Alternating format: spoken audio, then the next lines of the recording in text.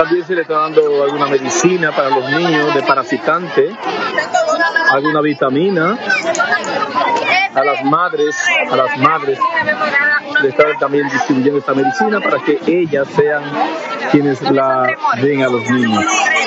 Este es un barrio muy necesitado, hay muchos pobres, muchos pobres. Miren, así son las casitas. Casita muy pobrecita.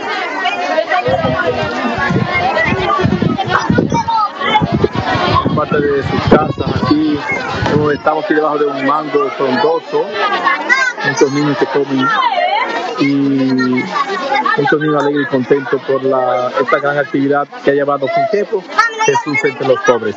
Agradezco enormemente a Funkepo, agradezco a Funkepo que siempre está al tanto colaborando con nosotros. Prontamente estaremos construyendo el salón donde entonces ya lo tomaremos para los alimentos, la comida, para almacenarla y tener así más, más facilidad para con toda la familia necesitada. Así agradezco a todos ustedes que siempre están con nosotros y comparten con nosotros todo esto, es todo este día tan hermoso, tan feliz.